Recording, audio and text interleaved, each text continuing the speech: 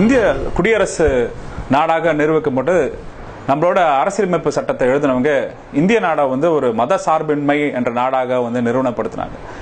அதாவது மத சார்பின்மை என்ற ஒரு முழுமையான அர்த்தம் என்னென்னா மதமும் தனி மனிதன விருப்பு வெறுப்புகளும் சேர்ந்து இருக்கக்கூடாது. ஒரு நாடு ஒரு அரசாங்கம் எல்லா மதத்தையும் ஒருங்கிணைந்து பார்க்குற பார்வை. இல்லை எந்த வகையான மத விஷயங்களும் அரசாங்க முடிவுகளுக்கோ இல்லை சட்ட முடிவுகளுக்கோ இல்லை ஜனநாயக தளத்தில் வந்து வரையறை பண்ணக்கூடாது த- அழுத்தத்தை தெரிவிக்கக்கூடாதுன்னு என்ற தெளிவான விஷயத்தை பதிவு பண்ணுறாங்க ஸோ இந்த மத சார்பின்மை நாட்டில் அதுவும் எழுபது வருடம் கழித்து நம்ம சுதந்திரம் பெற்ற பின்பு நம்ம வந்து ஹாதியா கேஸை வந்து பார்த்துட்டு இருக்க பார்வை ரொம்ப ரொம்ப தலகுனிவான சுச்சுவேஷன்ஸாக இருக்குது ஏன்னா மிகவும் தெளிவாக நம்ம இதை எப்படி பார்க்கணுன்னா ஒரு மதத்தின் மாற்றம் மதன் மாற்றம் என்பது வந்து படித்தவங்க அதுவும் பெண்கள் மதம் மாறினா என்னென்ன சூழ்நிலைக்கு அவங்களுக்கு தள்ளப்படுவார்கள் அப்படின்ற ஒரு ஒரு வெறுப்புணர்ச்சியை தான் எல்லா தளத்திலையும் பார்க்கலாம். ஹாதியாவுக்கு எதிர்ப்பாக செயல்படுறவங்க அவங்க தனி உரிமைக்கு எதிர்ப்பாக செயல்படுறவங்க அவங்களோட வாழ்க்கையில் வாழ்வியல் முடிவுகளுக்கு எதிர்ப்பாக செயல்படுறவங்க ரொம்ப ரொம்ப தெளிவான கொள்கையை வச்சுருக்காங்க. அதாவது மதம் மாறுறது அதுவும் பெண்கள் மதம் மாறினால் உங்களுக்கு இந்த நிலைமை தான் ஏற்படும் என்ற பாடத்தை வந்து இங்க வந்து எல்லா பெண்களுக்கும் எடுக்கிறாங்க. ஏன் அந்த வெறி? ஏன் அந்த கோவங்கள்? அப்படின்னு நீங்க பாத்தீங்கன்னா எல்லா வகையான முற்போக்காளர்களா இருக்கட்டும் பெரியாரா இருக்கட்டும் ஆனால் அம்பேத்கரா இருக்கட்டும் பெண் ஒரு பெண்ணோட தனித்துவம் ஒரு பெண்ணோட சுயமரியாதை ஒரு பெண்ணோட கல்வி பெண் சுயமாக சிந்திக்கும் திறன் பொன் பெண் தன் வாழ்க்கையில சுயமாக முடிவெடுக்கிற திறன் வாழ்ந்தால் இந்த சமூகம் முன்னேறும் என்ற விஷயத்தை வந்து பதிவு பண்ணியிருக்காங்க. இந்த மதம் என்னை அடிமைப்படுத்துது. இந்த மத கூறுகள் என்னை அடிமையாக சித்தரிக்கிறது. சுயமாக நான் ஒரு மதத்தை தேர்ந்தெடுக்கிறேன்.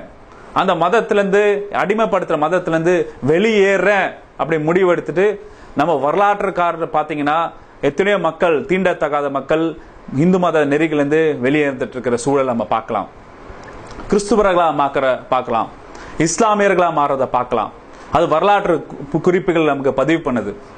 இப்போ இந்த மாதிரி சூழலில் ஒரு இந்துத்துவ கொள்கையை நிறுவனப்படுத்தணும். இது வந்து ஒற்றை மதத்தின் அடிப்படையில் இந்த நாடை செயல்படுத்தணும். இங்கே இருக்கிற அடிப்படையான ஜனநாயக கூறுகள் டாலரன்ஸ் என்ற விஷயத்தை வந்து நம்ம எதிர்ப்பாக செயல்படணும்.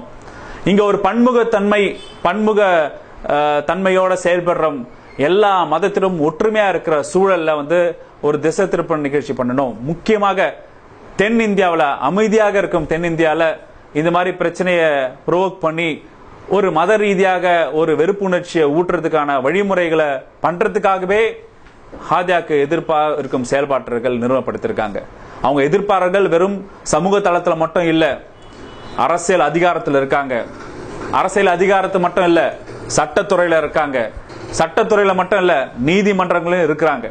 அப்பனா அவங்களுக்கு இந்தியாவோட இந்திய கூரோட அடிப்படை ரிலிஜியஸ் ஃபண்டமெண்டல் ரைட்டை பற்றி தெரியலையா?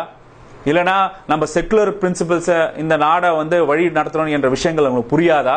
அப்படி இருக்கும்போது ஏன் இந்த ஒரு கேஸை வந்து திருப்பி திருப்பியும் நம்மளை வந்து காட்டுறாங்கன்னா திருப்பி திருப்பி ஹாதியாக்கு ஒரு வேறு வகையான ட்ரீட்மெண்ட் பண்ணுறாங்கன்னா அதை நம்ம யோசிச்சு பார்க்கணும். அப்போனா இங்கே இருக்க கூறுகள் முழுக்க முழுக்க ஒற்றை மதம் ஒற்றை கலாச்சாரத்துக்கு திணிப்புக்கு இந்த நீதிமன்றங்களும் அரசு ஆட்சியாளர்களும் சமூக இயக்கங்களும் செயல்பட்டு என்ற பெரிய கேள்விக்குறை இங்க இருக்கு. அப்பனா ஆதியாக்கு ஆதரவாக போராடுறர்கள் இது வெறும் ஒரு பெண்ணை சம்பந்தப்பட்ட விஷயமோ இல்ல ஒரு பெண்ணுரிமை சம்பந்தப்பட்ட விஷயமோ ஒரு பெண்ணோட சுதந்திரத்தை பாதிக்கப்படுற விஷயமா மட்டுமே பார்க்காமல் இதுல ஒரு சமூக பின்னணி இருக்கு. இந்த நாட்டுக்கு அடித்தளமா இருக்கிற பன்முக தன்மையை வந்து கூறு போடுற சூழலை வந்து இந்த விஷயத்துல இருக்கிற மாதிரி அணுகணும்.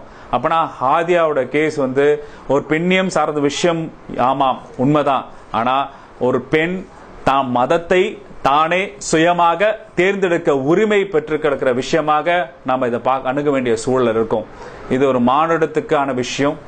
இது பெண்ணியமும் மாடமும் உருவெடுத்து இங்க இருக்கிற பல்வேறு சமூக செயற்பாட்டர்களோட தியாகத்தின் வெளிப்பாடுகளை நம்ம இந்த போராட்ட காலத்துல வந்து அவளுக்கு ஆதரவு தெரிவிப்போம் சொல்லி விடைபெறுகிறேன்.